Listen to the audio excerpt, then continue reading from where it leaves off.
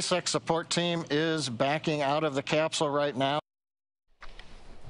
Yeah, that was SpaceX's Falcon 9 lifting off in Florida. The mission named AX 2 is bringing four private citizens to the International Space Station. The shuttle took off on Sunday evening, by the way. The crew of four includes the first ever woman from Saudi Arabia, along with a retired NASA astronaut. They are expected to reach the space station today.